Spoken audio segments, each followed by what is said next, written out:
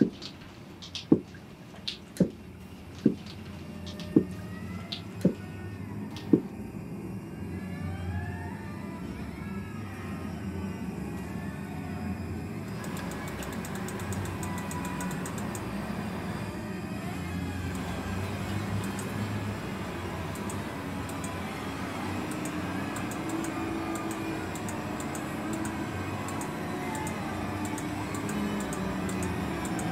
do you like it?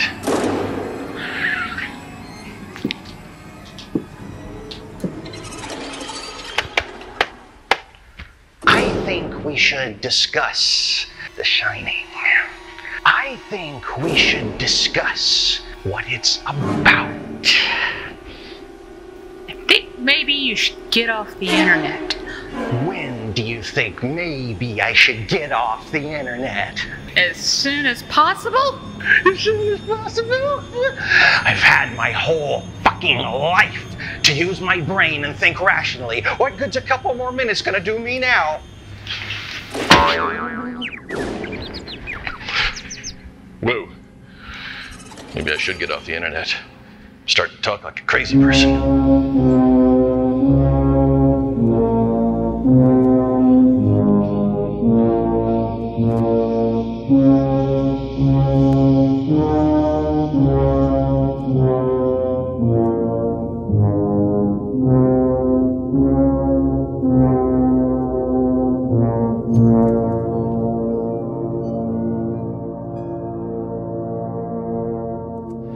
Saw The Shining at around the age of 13 under what were probably the worst circumstances under which to view a film for the first time.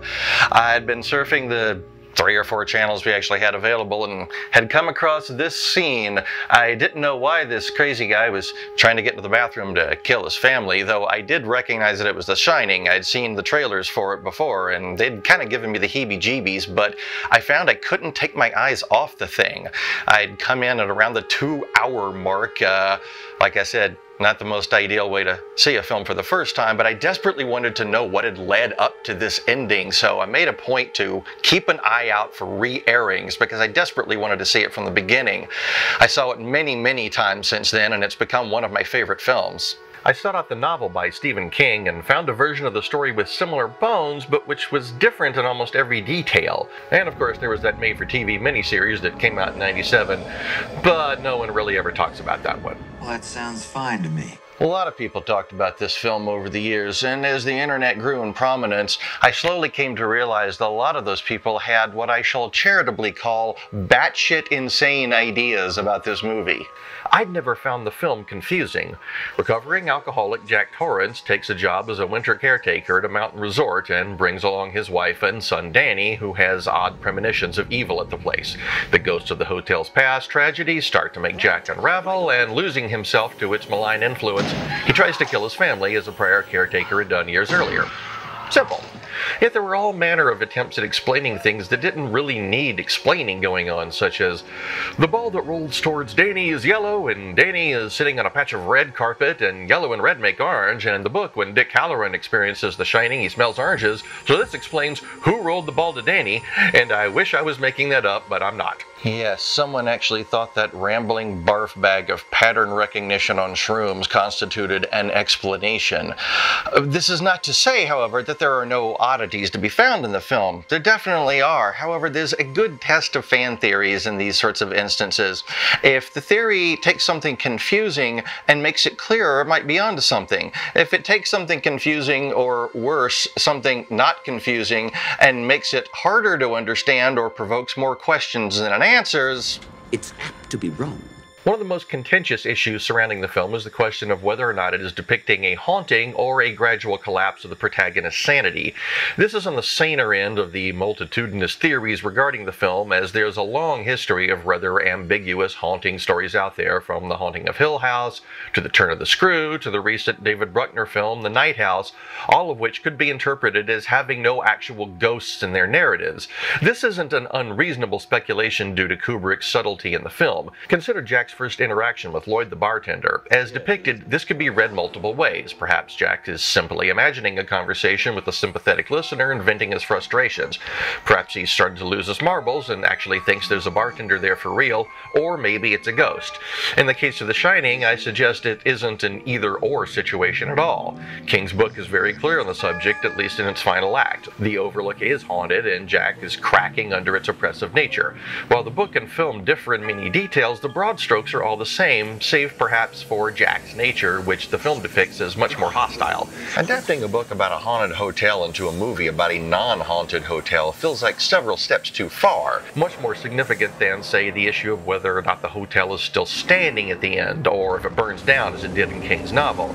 That's not something fundamental to the narrative, whereas the issue of a real versus imagined haunting is rather important. Proponents of this theory often cite Kubrick's own disbelief in the afterlife as a reason why he would possibly choose not to make the haunting literal, overlooking the fact that he hired novelist Diane Johnson to help with the script for that exact reason.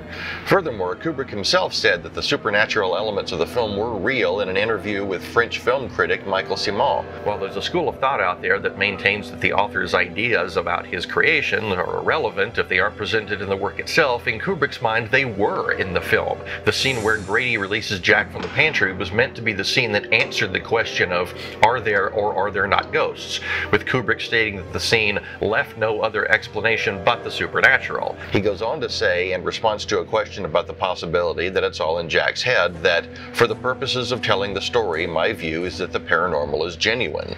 Even if your theory works around this somehow, the fact is it's not what the director intended, and advancing an alternate explanation to circumvent the director's wishes feels a trifle desperate. I don't believe in ghosts either, but I also don't believe in elves, which doesn't stop me from enjoying Lord of the Rings. And let's face it, The Shining itself is a sort of ESP telepathy combo sort of ability, so it's not as if removing the ghost from the equation suddenly grounds the film in reality. However, from here things only get weirder, such as the notion that the film makes total sense if you go from the perspective that Wendy was the actual abuser, and that anytime she sees something that seems to contradict that, it's her imagination. I mean, Wendy says Jack hurt Danny, He injured Danny's arm. and Jack says Jack hurt Danny, I did hurt him once, okay? but despite all evidence to the contrary,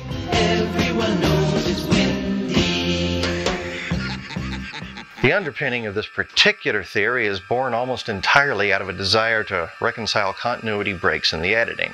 First, by citing this chair that disappears in the second iteration of this angle but returns for the third, and then the appearance of a piece of paper in the typewriter after we see Jack rip out the one he'd been typing on. This is sufficient to convince the proponent of this theory that Wendy has therefore hallucinated the entire scene along with any other scenes that portray Jack as being the threat or aggressor, including scenes where Wendy isn't even present. He also references a deleted scene at the end of the script wherein the hotel manager tells Wendy that the police found no evidence of the strange things she saw at the hotel, implying she imagined it. The creator of this theory also suggests that the camera's position behind the subject is indicative of a hallucinatory sequence, really without any justification, as this isn't Wendy's point of view at all. It's the exact opposite of her point of view. The notion is that the continuity breaks can all be explained in this way, except, as I've already pointed out, Wendy isn't even in many of the shots in question.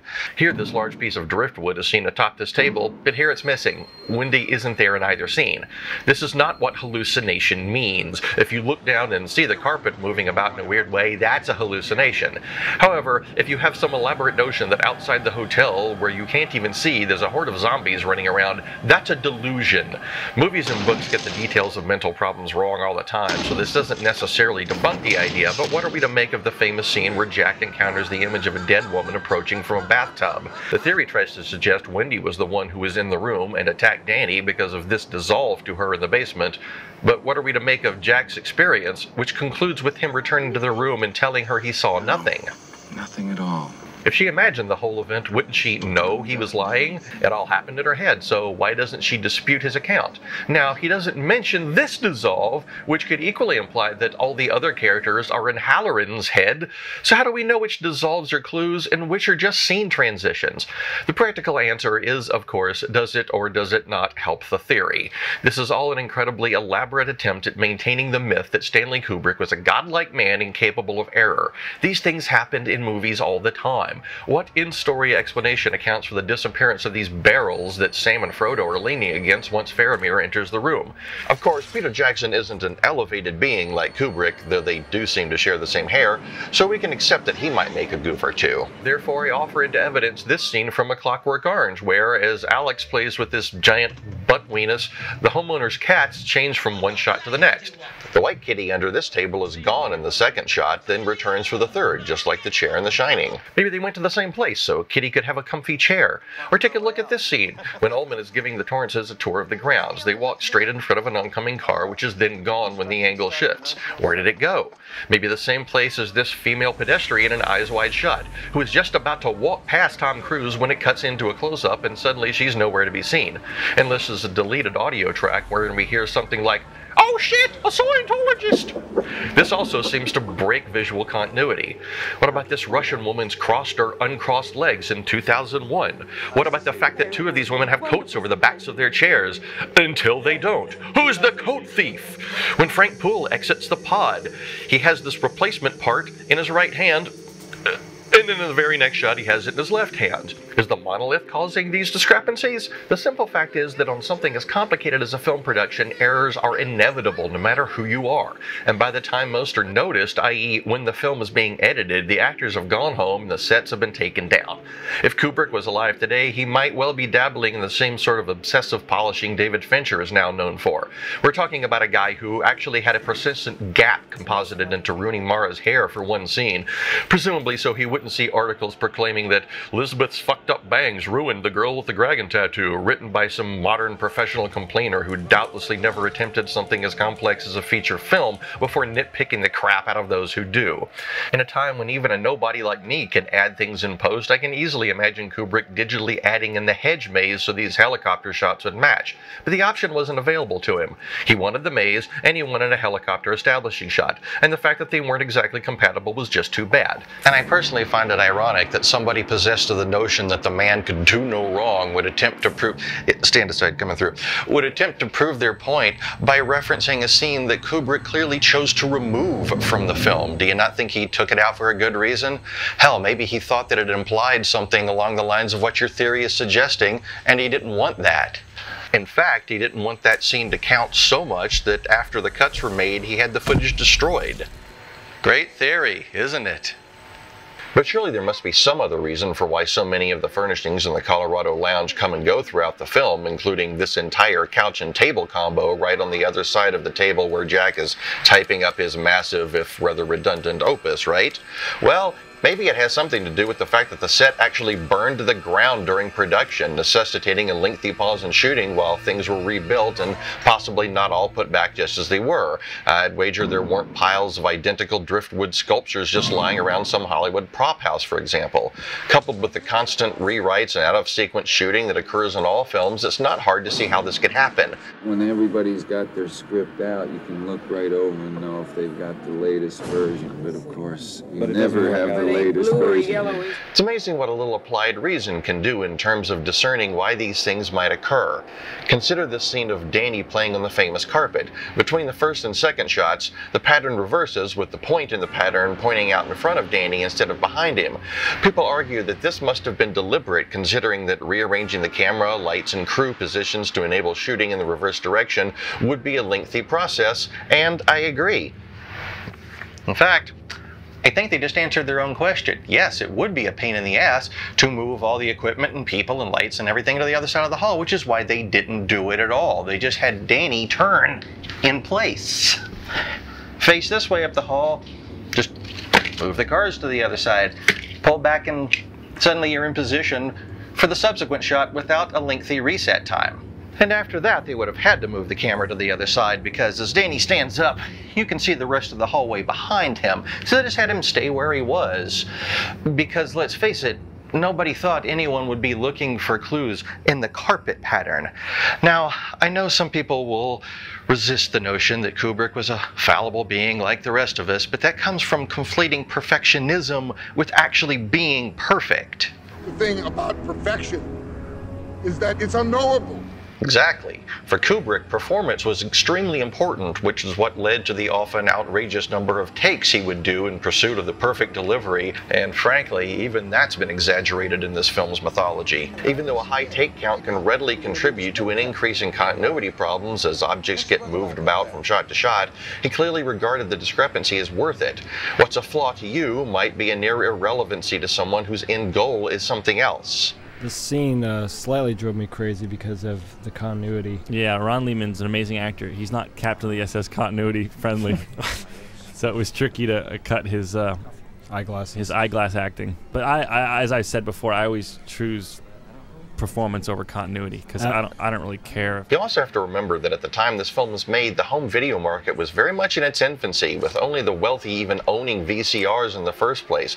The kind of scrutiny we can now devote to a film just wasn't possible back then and probably wasn't considered a factor. What about room 237? Ah, yes, Room 237. Not just the hotel's most haunted room, but the name of a documentary on The Shining released in 2012, which I'm still not certain was meant to be taken seriously. For all I know, the filmmaker invited his commentators to gush their crazy nonsense ad nauseum in order to laugh at them. Lord knows I did. So, where do I even start? I suppose I'll address Bill Blakemore's theory first, given it's the least nutty of the bunch. He maintains that the film is an allegory for the genocide of the Indians and has the advantage of the subject actually appearing in the source material. The site is supposed to be located on an Indian burial ground, and I believe they actually had to repel a few Indian attacks as they were building it. It's a fair point to note given that this detail isn't present in the novel, and there are an abundance of Navajo patterns and motifs used throughout the hotel, which was greatly inspired by the interior detail of the Ahwahnee Hotel in Yosemite. His suggestion that the huge gush of blood emerging from the hotel represented the blood of those whose land was defiled by the building of the hotel is worth considering. The overlook was King's examination of the horror trope of the bad place, much like Shirley Jackson's Hill House, a place where tragedies just mount. And if that was the location's first tragedy, it might be represented in the scene. It doesn't make the film about that, though, any more than it's about Horace Derwent, a multimillionaire who once owned the hotel and who makes a brief appearance in Kubrick's film, along with his gay lover Roger, who came to the ball in a dog costume. Uh, that's who this guy is. Unfortunately, Blakemore starts going off the rails into faulty pattern recognition with speculation such as The poster that came out in Europe said the wave of terror that swept across America. And I remember looking at it, the wave of terror that swept across America. What's he talking about? The impact of the movie that had just opened over there? Maybe. Yes, that's what all ads do. Promote the product as outstanding, even if the initial response was mixed. From here, he really goes off the deep end by stressing the use of these cans of Calumet baking powder, suggesting that the name, which translates to peace pipe, is implying deception in this conversation because the name isn't seen in its entirety on the cans. It's a longish word on a round container. What do you expect? You don't see the name Tang in full either. Look, here's a can of Calumet in the film Zodiac, also about a murderer. Is that about the genocide of the natives too? Also, here's a can of Calumet in Jason's kitchen in Friday the 13th, the remake. No doubt tying back to this scene in the original film. Or not. Kubrick's assistant, Leon Vitali, said he found cans of Calumet in hotel pantries across the country when he was doing set research. It was just a popular product at the time. And it only gets worse from there. I don't see what the fuss is about. Just watch. Geoffrey Cocks believes the film was an allegory for the Holocaust, based almost entirely on the appearance of the number 42, implying 1942 and the final solution, and the fact that Jack's typewriter is an Adler, a German brand.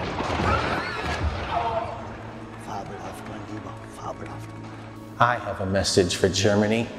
Apparently, your country will forever be synonymous with the worst thing it ever did. Sorry about that.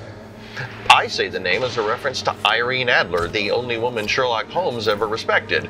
Jack dotes on the typewriter, but hates his real wife. He and Holmes were both addicts. Jack was an alcoholic, and Holmes did cocaine. You do know what you're drinking is meant for eye surgery.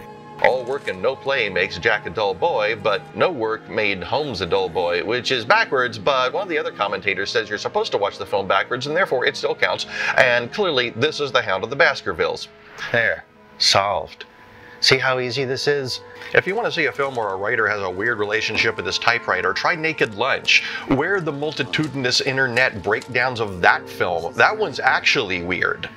Also, apropos of nothing, he suggests more silly inferences regarding continuity breaks, claiming a disappearing sticker of Dopey of the Seven Dwarves is an actual comment on Danny wising up after his first vision. I think what Kubrick is saying is that before, Danny had no idea about the world. And now he knows. He's no longer a dope about things. Well, thank God, Danny is no longer dopey. Though he is apparently still goofy, so take the significance of that observation with a big bucket of salt. As for the 42 on, uh, God, just numerological bullshit is so fucking stupid. Uh, yes, there's a 42 on Danny's shirt, but where else? If you multiply the numbers 2, 3, and 7, you get 42. Are you really retarded? Who said to multiply them? Well, what if you add them? Then you get 12, which is 21 backwards, because you're allowed to reverse things because I said so, which is half of 1921, which is when the ball took place. Christ, I just blew my own mind. And then there's the cars. And it's within a larger context that Kubrick uses involving numbers. You out of your fucking mind? Yes, this 42 cars if you don't count the snowcat, and if you wait until this point in the shot, because if you start earlier, you see several more cars over here to throw the count way off. I can't believe you're not really retarded. And does it even need to be said that Kubrick himself didn't even shoot this? He'd have probably thought to frame the helicopter blades out of the shot, but he was shooting the bulk of the film in Elstree Studios in England, while a small second unit crew filmed this in Oregon. Oregon! Maybe Kubrick included the number 42 the one time he actually did because it's the answer. The answer to what? Life, the universe, everything. One man who does not have the answer is Jay Weidner, who believes the film is Kubrick subtextually admitting his guilt over. Oh, God, I need a drink. Mm. Having faked the moon landing footage. We never went to the moon. We never kicked the bus. We never stabbed the heavenly dirt with a flag. We never went to the moon. Give me another one, Lloyd, if you're not too busy. No, sir. Not busy at all. Uh, Uh, he thinks this rant Jack is having is meant to reflect Kubrick's internal struggles over his obligation to keep silent. Horse shit. But I guess Stephen King must have helped fake the moon landing because this is in the book too. Have you ever had a single moment's thought about my responsibility? And when he's not insulting the space program, he's totally got sex on the brain, implying the film is full of sexual references added subliminally. A word he clearly doesn't understand, as subliminal means below the threshold of perception, i.e., you couldn't see or hear it. He cites examples like Ullman greeting Jack and moving next to the filing tray, implying it looks like Ullman has, well, uh, a big. Willie. Yeah. What's that? Though he totally glosses over the fact that mere seconds later in the same scene, Ullman's secretary also looks to be sporting uh, the huge. Uh... Wiener? Any of you kids want another wiener? He then cites the woman in the tub, which is about the least subliminal thing ever. Ask Lloyd, he's got more sense. Thank you for saying so. I always liked you, Lloyd. Best goddamn bartender from Timbuktu to Portland, Maine. Or Portland, Oregon, for that. Oregon! Oregon. That's right. I almost forgot. The Timberline Lodge asked Kubrick to change the number of the hotel's most haunted room from 217 to 237 because they were afraid that guests would be afraid to rent room 217, whereas they had no room 237. This has long been understood as the reason for the change, but according to Mr. Weidner, This is the best part. Oh, that's actually not true. If you call the Mount Hood Resort and you ask for room 217, you will find there is no such room. That's a big fucking lie. See, this is what comes from not checking up on easily checkable facts. Because I did contact the Timberline Lodge and received the following email. Thank you for your interest in Timberline Lodge. The exterior of the building and the snowcat ride were used in The Shining. We have a room 217. It is just a standard room with two beds. We do not have a 237. People often ask for room 237. Which tells us two things. One, the hotel probably would have done better business had they not changed the number. And two, Mr. Weidner is so unsure of his own loopy notions that he has to blatantly fabricate evidence in order to prop them up. So, why does he think or pretend to think the number was actually changed? The mean distance of the moon from the Earth is exactly 237,000 miles. Sorry, the mean distance is over 238,000 miles, very nearly 239,000 miles. He tries to avoid going full conspiracy wacko by claiming, Now, I'm not saying that we didn't go to the moon. That's the only thing you've said that's the truth. I'm just saying that what we saw was faked. This actually makes it worse. So we went to the moon for real, but just didn't film anything while we were there. It's so dumb. Oh, It's so dumb, it's brilliant. No! It's just dumb. And for the coup de grace, he tells us There's a key in the lock, and on the key are is the words room and then the word NO, which is an old uh, acronym for number. So, it is not an acronym, it's an abbreviation. except that the only capital letters on the key are R O O M and then the N from the acronym. Not an acronym. English, motherfucker, do you speak it? There's only two words that you can come up with that have those letters in them, and that's moon and room. Please, Mr. Weidner, accept my invitation for a high stakes game of Scrabble because you can also make on, or, nor, rom, more, mono, morn, norm, and my personal favorite, moron, the only word that uses all the letters. Maybe Kubrick was onto something. Exactly. An imbecile. Yeah. Like the dumbest motherfucker that ever lived. Another thing which uh, my film Kubrick's Odyssey really reveals the patterns in the carpeting uh, exactly match Launchpad 39A. Um, you know, even the driveway and everything. Very impressive until you look it up and see that it actually looks like this. It's one pad, not a networked array of them. Comparing what's really there to the carpet would look like this, i.e., nothing. Hell, this guy's damn face could look like the carpet pattern if I deliberately tile it the way he did. I wonder how many other intentional misleads could be found if I delved into his personal expose on the shinning. You mean shining? Shh. You wanna get sued? If you take nothing else away from this video, please internalize this. This is the title of the film in King's book. This is the title of the Simpsons parody version. Learn it. Know it. Live it. We come to Juli Kearns' interpretation, and to be completely honest, I actually feel kind of bad about eviscerating this one because I honestly feel like the idea does have some merit. She views the story as an allegory for the myth of the Minotaur, and I can see that making some sense. After all, there is a labyrinth in the film that wasn't in the book. And we could see Jack as the Minotaur, Danny as Theseus, and Wendy as Ariadne, who teaches Theseus how to navigate the labyrinth. Unfortunately, her argument touches on none of this. She barely references the hedge maze, instead focusing more on the fact that the sets of the hotel don't line up perfectly, which they often don't. Interior sets are often a bit larger than exteriors of same to give room for the crew and equipment. There's also no reason for a set to conform to the logic of an actual entire building. This dream sequence from Buffy the Vampire Slayer showed a character running from location to location in one take, made possible by the fact that the sets were actually all already set up this way on a single soundstage. And while identifying Jack as the villainous Minotaur, she does so by focusing on weird interpretations, such as suggesting that he looks like a bull in the scene, even as she acknowledges that Kubrick often framed antagonists in this way to convey menace. And then there's the poster in the games room. I realize that's not a skier. That's a that's a minotaur. What the fuck? Yes, a Minotaur with skis, ski poles, and the words Ski Monarch clearly visible. You have monarch on the bottom, which uh, you know keys in with royalty. Maybe it's a reference to the monster monitoring organization caring for Mothra. That must be why the twins are in this film. Or maybe it's a mountain in Colorado with a ski resort, as noted on this remarkably similar advertisement for numerous ski resorts in Colorado. Jesus, people, get out of your own heads occasionally and try looking shit up. You find interesting stuff, like the fact that at the base of the mountain is a Sidewinder saloon. Maybe King got the name of his fictional town of Sidewinder from there. Who knows? Bringing up the rear is John Fell Ryan, whose idea is based almost entirely on an internet conspiracy theorist called the Merstermern. Oh, here comes an avalanche of bullshit. He of the self-aggrandizing name didn't want to appear in this film, but John's here to tell us all about what the Merstermern has kicking around in his mern, which is the aforementioned notion of watching the film backwards in a section with the astoundingly arrogant title, How the Shining Was Meant to Be Seen.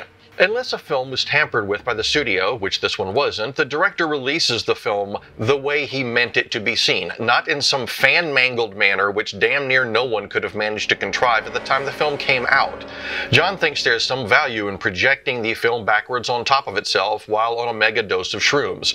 He didn't actually say that last bit, but nothing else makes this idea make any sense at all. I just cannot believe any of this voodoo bullshit. So his car, his name, and his photograph all line up for one second. Except that's not even true. You get a shot of the car with the end credits ghosted over it. I guess we're supposed to chop the credits off before doing this. Sadly, Kubrick didn't leave an instruction manual behind for how to mutilate his work. You know, there's some fun jokes, but then there's serious stuff. No, they're not jokes. Kubrick didn't do this. You did this using Kubrick's film as raw material based on guidelines you made up. It was almost like I had to sort of fool my mind into believing that it wasn't retarded. But while doing my own version, I did notice some interesting things, such as the fact that the framing of the shots frequently line up quite cleanly. So I tried doing this with shots from across his work. See, this is the genius of Kubrick the precision, the shot design, lens choice, the dedication it takes to get this shot of Dave Bowman to line up perfectly with this later shot of Dave Bowman as an old man.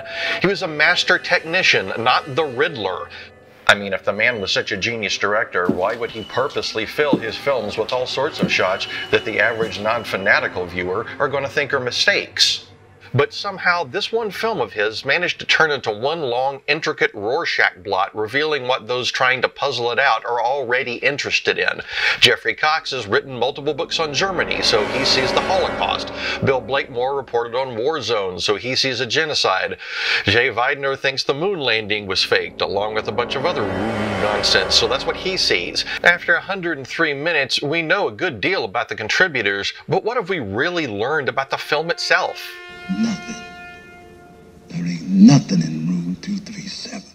And honestly, that's a shame because there are some genuinely odd things to be found in The Shining that could have benefited from a close examination instead of a series of analyses that were entirely focused on ignoring the actual plot as much as humanly possible. So, what's the film really about? I want answers now or I want them eventually. Its underlying story of a father's hate for his child and his wife, the murderous father, is a very, very frightening one. I mean, she only wrote the damn thing. What does she know, right? Though that does seem to fit with exactly what happens in the film. It's right there in your face. The film is about domestic violence, and trying to make it about something else just cheapens its impact. I mean, yes, events like the Holocaust or native genocide may be larger, but there are also events in the past that don't really impact on our daily lives.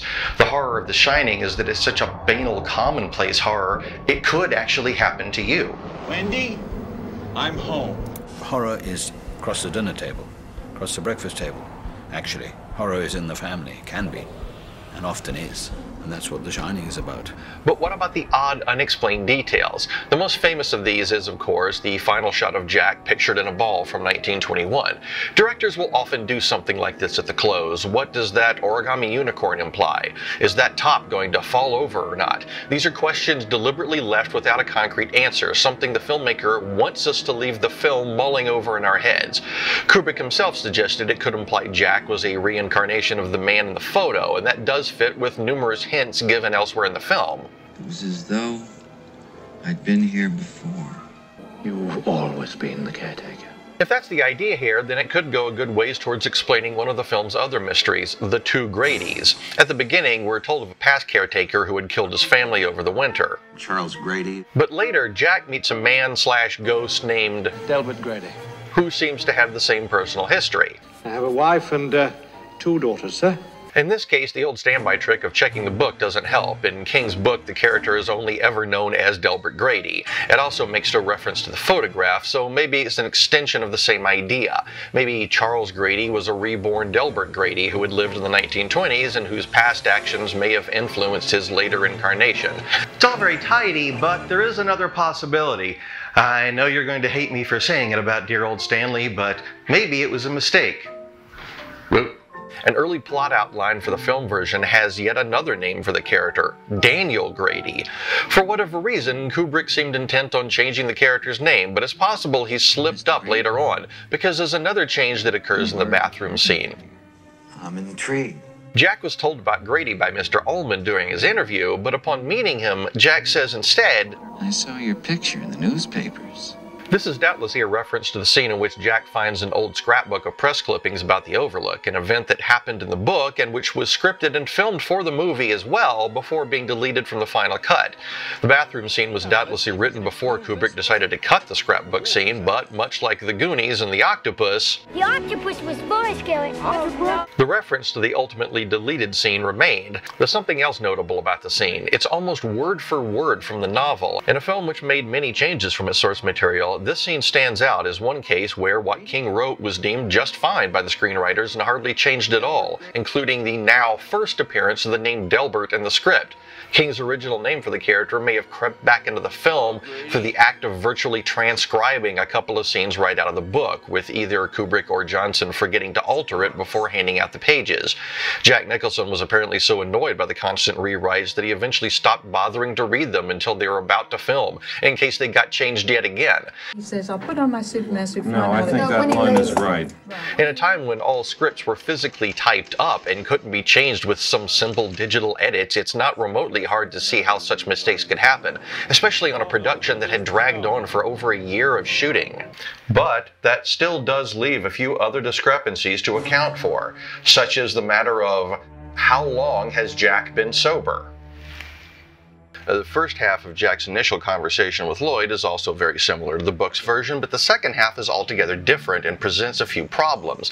Near the start of the film, Wendy tells Danny's doctor that Jack Hasn't had any alcohol in uh, five months. However, the later conversation with Lloyd still has Jack referring to his Five miserable months on the wagon. despite the one month later title card that occurs in between. It really should be six months at this point. However, I don't think this is really much in the way of an issue. People misremember time frames constantly. It could be either a writing mistake or a simple character error.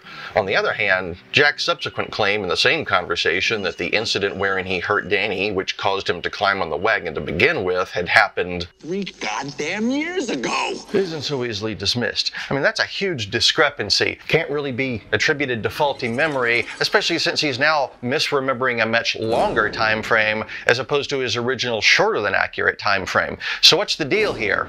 Is the idea that Jack has come unglued from his own time and is no longer sure when things are happening? I mean, it could tie into the reincarnation notion, but it's not a very satisfying explanation, uh, largely because nothing else in the film actually seems to suggest this. Could the two events have been separated by such a gap in time? If Jack injured his son three years ago and then promised six months ago to stop drinking, it doesn't really feel as though the one was really the motivation for the other. Really does seem like a mistake, but if so, it was a pretty big one. God damn blood! I told you to take the stairs. Um, all right, so how might such a discrepancy have occurred? Uh, it appears to be a mix-up between the book and the movie that probably got confused in the frequent rewrites.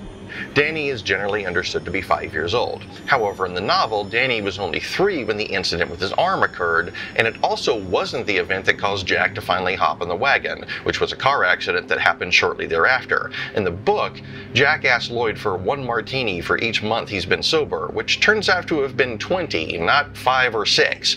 Jack's later outburst is more in line with the novel's timeline, and an early treatment for the film also gives Danny's age as being three when the event occurred, though it doesn't specify the duration of Jack's sobriety. Now, those who passed first grade arithmetic have probably already noticed a problem here in that two years is one year less than three years, which is the time frame that Jack gives. However, it's notable that the movie never actually tells us Danny's age, unlike the book. And actor Danny Lloyd was actually six years old when the film was produced. If Kubrick was going off the actor's age for the character's age, then suddenly the disparity disappears. Now, while the long belated sequel would eventually confirm that Danny was meant to have been five in the film continuity as well, He died when I was five. Obviously, this would not have been a factor for Kubrick, who was making his movie over three decades before the book was even written. Which raises an interesting point. Does the presence of a sequel actually negate some of these theories?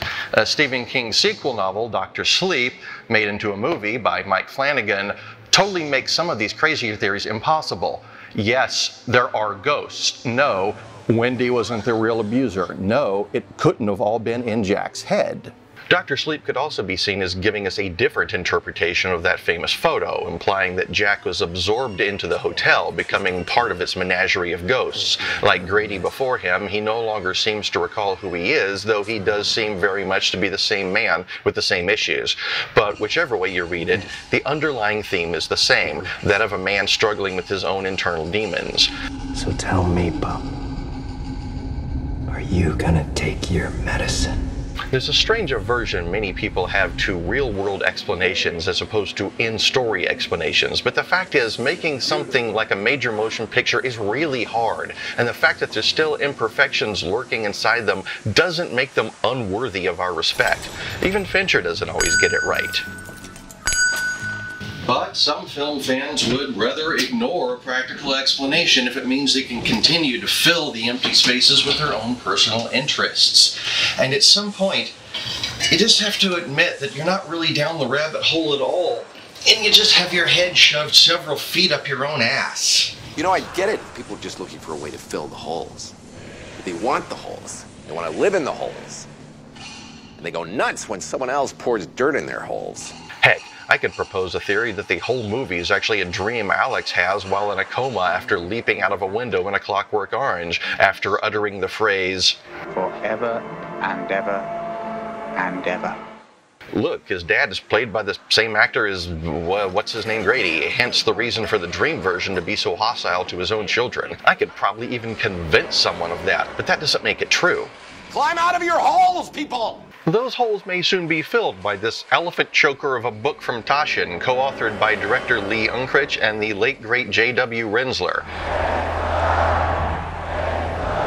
Which is doubtlessly the greatest resource in the film ever compiled, though at a current price of 1500 bucks is unlikely to find its way into most collections. Its contents will doubtlessly leak out onto the internet, though, and what's already been revealed sheds some interesting light on this semi-mythical production.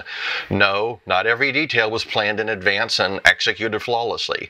That legendary world record-setting take count for the stair scene never happened. The shot logs show no more than 15 takes for any shot, exceeded only by this scene, which clocked in at a still impressive 66 takes. And on a related subject, the story that Kubrick drove Shelley Duvall to a nervous breakdown also suffered from being severely exaggerated every time it was repeated until the truth no longer came through.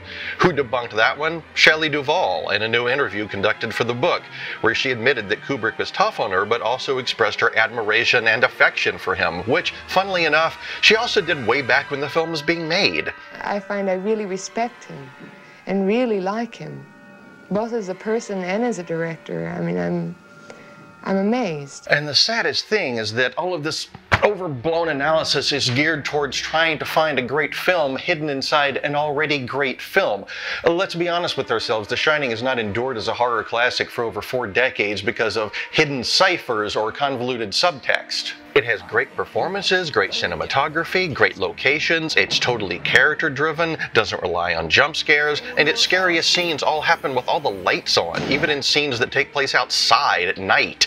Very few directors even try to accomplish such a feat, and it's not as if Kubrick didn't include some things in the film that aren't strictly literal, such as the point of view shot where Jack is staring down at the maze miniature. Not only do we see Wendy and Danny moving about its center, but the maze is astoundingly huge in this shot, far bigger than it's supposed to be. He seemed enamored with the notion of human figures dwarfed by their environment, looking tiny and helpless against an outsized backdrop, which is probably why his cavernous interior sets were far in excess of what the Timberline Lodge could have actually contained. It's also true that The Shining doesn't tell us everything. I personally always felt that Jack's claim that As far as my wife is concerned, uh, I'm sure she'll be absolutely fascinated when I tell her about it. She's a uh, confirmed ghost story and horror film addict. was a total lie. This woman is a horror film addict. Jack is just assuaging Ullman's concerns because he needs the job. In fact, there's nothing in the film to suggest that Jack actually even told her about the previous tragedy. She never brings it up a single time, either with Jack or any of the staff. And you really feel like that subject might have been broached at some point, but it's not, not even after Jack's nightmare. I cut you up into little pieces. It's also true that Kubrick would include little bits of metatextual commentary in his films, but unlike some of the crazier suggestions made in Room 237, he didn't expect you to have a computer so you could zoom in on a magazine and then look up that particular issue to find a particular story within. He played fair with the audience. We totally have time to see this newspaper headline in Eyes Wide Shut, for example. The problem arises when a director does include little symbols and clues and bits of subtext here and there, and then audiences assume that everything the director did was for similar purpose. Jack's pose in the final picture looks like Baphomet. What does that mean? It means it was a stock photo they just put Nicholson's face on. Jack quotes the three little pigs. Not by the hair on your chinny chin chin. Is that a reference to a racist depiction of the wolf as Jewish in an old cartoon, tying into the Holocaust hypothesis? No, it's a reference to the book. Speaking of books, maybe this red book on Ullman's desk explains everything because it's written by Carl Jung and was published posthumously 29 years after The Shining came out. At least this guy had the decency to admit his error. If you really want to get depressed, check out the comments under that retraction video, where half the people are basically trying to tell him that he was right the first time around, even though that's impossible. Others have gone so far as to suggest that Kubrick himself was lying in various interviews just to keep their own suppositions alive. This is pure unreason, constructing a path to the answer you've already picked. What did our old friend Sherlock Holmes have to say about that? It's a huge mistake to theorize before one has data. Inevitably, one begins to twist facts to suit theories instead of theories to suit facts. Over four decades hence, and people are still asking, will we ever understand it all? And I submit to you that the answer is yes, once you stop making a concerted effort not to. Fortunately, as soon as this video goes online, this will all be over. This decades long wave of apophenia will at long last be laid to rest. Hello, Matt. Come debate with us. Forever and ever and ever.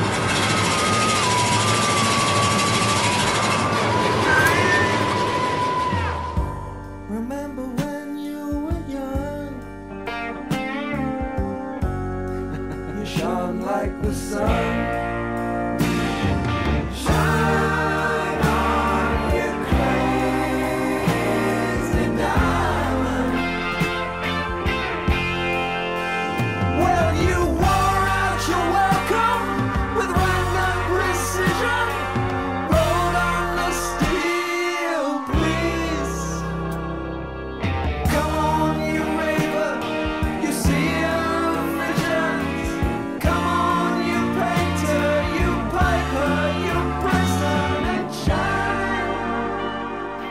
Jesus Christ, this video took forever. Never thought I'd finish this damn thing. I gotta do something simpler next time.